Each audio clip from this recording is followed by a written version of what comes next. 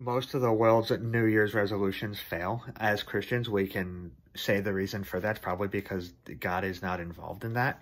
Uh, do you have your own your own uh, resolution set? Is it something? Is it something that involves God to help you get closer to Him? My own personal uh, resolution is to improve improve on my prayer life see see what scripture has to say about it actually work on my personal uh, my personal prayer.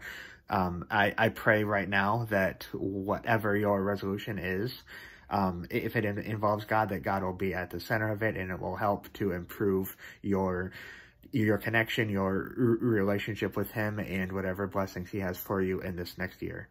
Amen